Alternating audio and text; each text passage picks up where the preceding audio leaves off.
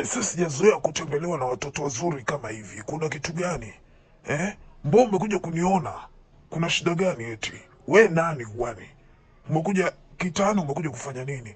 Maanake ulivyonivuta chemba hivi, au shanzimia? Unajua watoto wa kidosi waga wanazimia masela. Sikute mie shanzimia mie msela. Niambie basi, vipi, kunani? Bro, sikiliza nikwambie, mie nimekuja kukuona, nataka unisaidie kazi yangu. Kuna mtu unamtafuta sana na sijafanikiwa kumwona. Nimeambiwa we Cheche, unaweza ukachunguza na kuweza kumleta huyo mtu. Uh, kuna msichana mmoja anaitwa Marlene, namtafuta na najua wewe unaweza kumpata kwa njia yoyote ile. Mi nitakupa dau zuri tu la pesa, lakini nataka kwa udi na uvumba niweze kumwona huyo Marlin.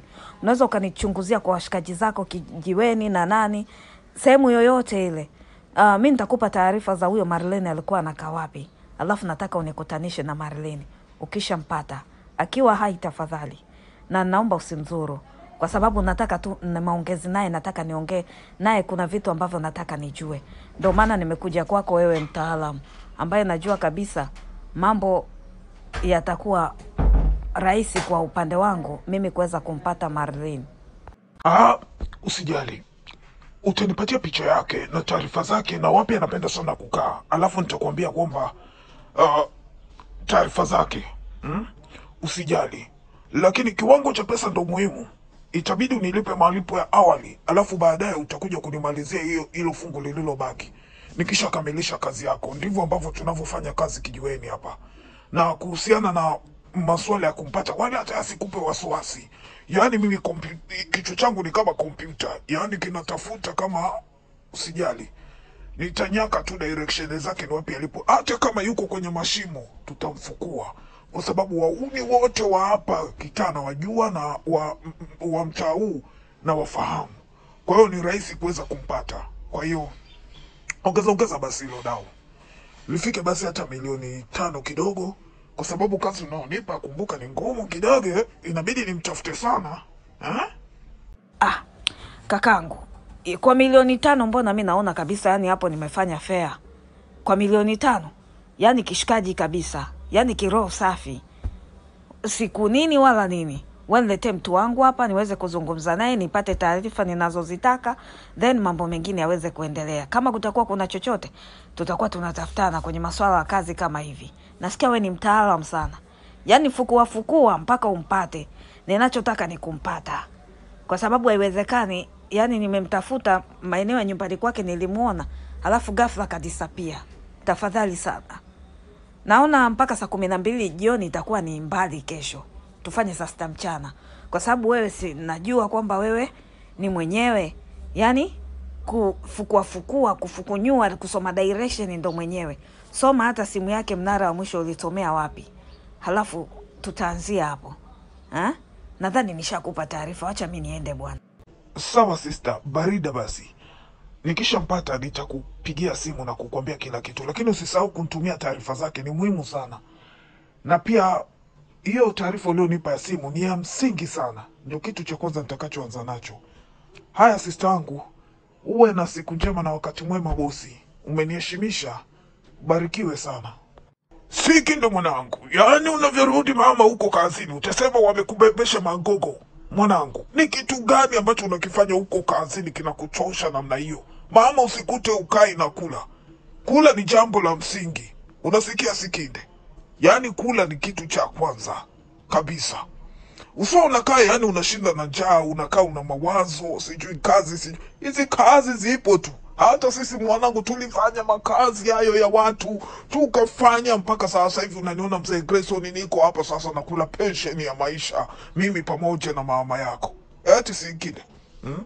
Mwanangu, yani ninakuona tu ukija namna ambavyo hauna furaha, umekaa unafanya kazi, ni kazi na wewe. Ndio najua nilikupeleka shule ili mwanangu uweze kujitegemea, lakini mbona kujitegemea kwenyewe kunakuwa hakuna furaha siku hizi? Eti mama, ni nini tatizo? Kuna kitu gani hapa ambacho sikielewi? Kiukweli baba, nina changamoto ofisini, tena nina changamoto kupita maelezo baba. Yani ninavyokuambia hapa sasa hivi yani huko ofisini watu wanataka kunitoa roho baba, ile ofisi kuna madudu kama kitu gani? Baba, nikakabidhiwa director, lakini kama ukiwa kama director lazima uelewe wenzako uko nyuma alikotoka, wapi walikwama, ili ujue namna gani wewe utakavyoenda. Ndivyo ninachokifanya, lakini napigwa vita baba yangu. E, vita ninayoipigwa ndugu yangu, nahisi hii vita ni kali, kwa sababu nimepigwa vita wakati tayari ninemesha soma kidogo, shule imeingia kwenye akili. Lakini ingekuwa kipindi kile baba, yani hawa wote ningewakumbata sehemu moja, yani wangejua hawajui. Naenda nao, yani wanasema naenda nao kiprofession dada ba, da, baba yani mpaka watu wazima baba yangu yani wanasimama eh? Wanataka kunipiga vita mimi najiuliza vita hii jamani huko ofisini watu wezi wezi sana baba yangu Si kile mwanangu, hicho ndo kitu kinachokupandisha presha. Watu kama hao ofisini utakutana nao, yaani kule ofisini kuna mambo mengi, kuna madudu mengi, wasikutishe wewe kuweza kusafisha njia zako na kwenda. Mwanangu, sikiliza nikwambie, yaani hata siku moja usipende mambo ya uzulumati. Uzulumati ni mbaya, huwa unarudi vibaya wewe. Hao watu wala hata wasiku wasi, wasikuonyesha eti kwamba wanaweza wakakufanya kitu chochote. Unajua baba yako ni simba, Grayson ni simba, niko hapa. Sio kwamba eti nimezeeka ndo usimba umeondoka, na bado na nguruma, na hata ikiwezekana kama angekuwa anabweka huyo simba bado ningebweka eh? Watu wanakula rushwa maofisini humo, lakini wewe usiwe mmoja wao. Yaani wewe unatakiwa uonyeshe njia ni njia gani ya kuweza kwenda. Hivyo ndio mtoto ambaye nimemlea na kumkuza anavyotakiwa kuwa, sio kama huyo kaka yako mjinga huyo. Nasikia yuko huko sijui kwa mama Ntini. sawa baba yangu. Mimi nimekuelewa. Tena nimekuelewa vizuri baba yangu. Lakini kweli mimi mwenyewe nimeambiwa oto eti anafanya kazi kwa mama ntilie. Baba. Eh? oto amefikia kazi yani akapata hela ya kula mpaka akafanya kazi kwa mama ntilie.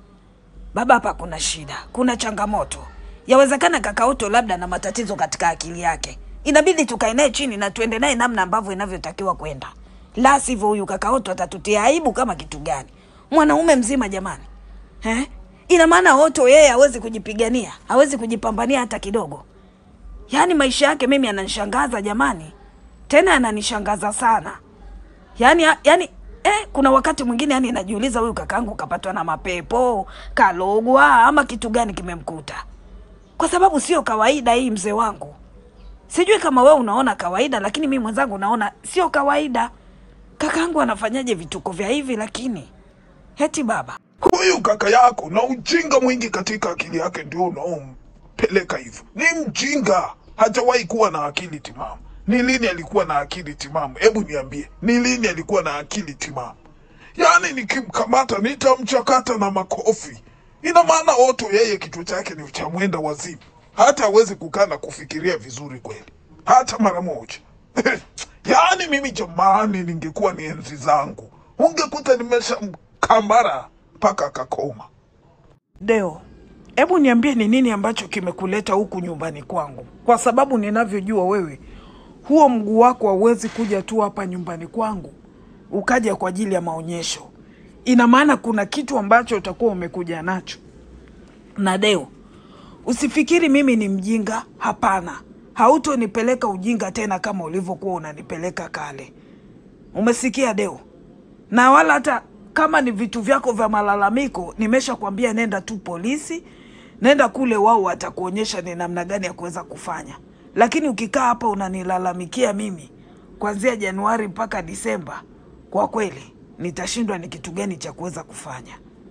Tafadhali sana Deo, nadhani unanielewa vizuri kabisa eh? Mimi malalamiko na vitu vingine mimi hapa sibebi hata kidogo. Tafadhali, nina mambo kibao katika akili yangu. Hayo malalamiko yako tafuta mahali pengine pa kuyapeleka eh? Kilichonileta hapa ni kudai haki za binti yangu. Alikuwa ni mfanyakazi nyumbani kwako. Je, ule mshahara wake uko wapi? Nataka nijue ni nani ambaye alikuwa amemwajiri binti yangu, kwa sababu hadi alipojinyonga, Abigail, moyo wangu, mama yangu, alipojinyonga sikupata fungu lolote. Hmm? Nataka nijue hao waliomwajiri binti yangu walikuwa ni watoto wako, wako wapi? Nataka nizungumze nao waweze kunilipa hiyo pesa. Hmm? Kwa sababu mimi ndo nilikuwa baba yake Abigaili na Abigaili tayari alikuwa ameshakufa. Ina maana mimi nilitakiwa nipewe haki zote za Abigaili, sikupatiwa haki zote za Abigaili. Ndicho ambacho kilichonileta kwako, umesikia? Hicho ndicho ambacho Glory, ambacho kimenifanya mpaka nikafika hapa nyumbani kwako. Natafuta haki ya mwanangu, ameshindwa kupu Hivi nikuulize Deo, huyo Joni si mtoto wako? Unaweza kumtafuta muda na wakati wowote na kuacha kunipigia mimi kelele, kwa sababu ukiniuliza haki za mwanao, hata mimi mwenyewe sijui hizo haki ziko wapi hmm? Yuko mwali wangu anafanya kazi pale Joseph Enterprise, unaweza ukamfata hapo ukaenda ukazungumza naye, atakwambia vizuri sana. Lakini ukija ukinifata mimi Glory, eti leo unataka mimi nikupe haki za mwanao, mwanao ambaye sijui alitokea wapi mpaka akaja akatembea na kaka yake, utakuwa unanionea. Alafu Deo, hiyo ni chokochoko, utakuwa unatafuta tu chokochoko na maneno ya hapa na pale hmm? Ni mtu gani ambaye huwa anafanya hivyo? kumwingilia mwenzake kwa chokochoko tu, ni chokochoko tu. Yaani we huwezi kuja hata kwa jema hata mara moja. Ni kweli Deo? Hata huwezi hata kuja kuomba tu msamaha kwa yale ambayo umeyafanya, huwezi. Ni chokochoko tu, chokochoko. Januari mpaka Disemba ni choko Hayo ndo maneno nilichokuwa nataka ni kuweza kupata yule dada aliyekuwa anakaa na Abigail. Mm. Mimi nije niombe msamaha, nimekosa kitu gani? Nimekosa kitu gani? Mm. Ni mimi nije niombe msamaha na hilo litoto lako lenye bangi ambalo lilitaka hata kuniua, hata alijui kama ni baba yake. Nije niombe msamaha. Hebu sikiliza, nikwambie Glory, kama ulikosea malezi kwa hilo takataka Johnny, litoto lako ambalo halina hata akili timamu, niwache. Mlimchukua mwanangu Abigaili mkajaribu kumuua, na sasa hivi najua mmemweka huko kama chuma ulete, na wala hata sijapiga kelele, lakini jua natambua kwamba anajua kila kitu kinachoendelea na kinaniumiza sana mm, kinaniumiza sana, lakini nasemaga siku zote, huyu Mungu mfalme wa amani aliyoko huko juu ndio atakayenilipia. nilipia, ndiye atakaye nilipia na atakupa mateso kila wakati. Hebu de fanya uende, fanye uende, kwa sababu hizo kelele zako nimezoea kuzisikia kila wakati. Unakaa tu hapa unanipigia kelele, unanipigia kelele vile unavyojisikia, alafu unaniambia nini? Hebu fanya uende zako tafadhali sana, usinitie ukichaa sasa hivi. Kishimba, nisamehe sana kwa yale yaliyotokea ofisini. Sikujua kama haya yote yangetokea. Tafadhali sana, naomba unisamehe. Lakini Kishimba, unajua ni wewe pekee ndo ambaye unaweza ukanitoa hapa. Hapa nilipo ni sehemu ambayo ni ngumu sana, siwezi hata kuielezea. Naweza nikafungwa maisha Kishimba, na unajua kabisa yani wewe nakutegemea wewe kwa kila kitu. Mimi sina chochote ninachokielewa pale ofisini, wala mafaili yaliyopita ambapo Tina ameyaweka, wala sielewi. Najuta hata kuchukua ile ofisi, ni bora ningebaki kuwa taxi driver. Tamaa ya kumiliki kampuni kubwa yenye pesa nyingi ndio ambayo imenifikisha hapa nilipo. Tafadhali sana, naomba unisaidie. Sijui utanisaidiaje, lakini nikwambie tu ukweli, Kishimba, niko kwenye wakati mgumu sana. Dada yangu Joyce nadhani atakuwa amekuambia vizuri. Hapa nilipo nategemea tu rehema za Mwenyezi Mungu na za kwako wewe Kishimba. Nionee huruma tafadhali. Naelewa, lakini una kitu cha kujitetea. Unaweza ukawaambia kwamba wanipatie mimi ruhusa ya kwenda kufungua kule na kwenda kutafuta zile faili, lakini wakati mwingine huwa unachunguza kampuni kabla hujaenda. Wewe unakubalije kuwa director wakati hujajua kule ndani yake kuna vitu gani? Sasa angalia, wamekuweka hapa, wao wenyewe wako wapi? Watu walishakufa zamani.